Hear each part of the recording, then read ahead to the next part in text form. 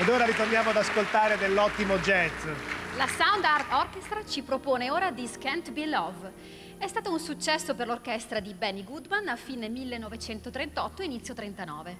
Questa canzone è stata registrata anche da Nat King Cole e da Ella Fitzgerald. Ascoltiamo la Sound Art Orchestra.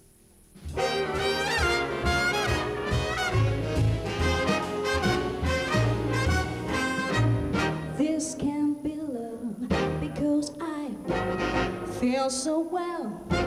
No sobs, no sorrows, no sighs. This can't be love. I get no.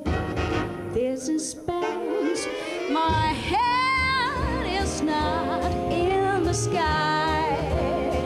My heart does not stand still just to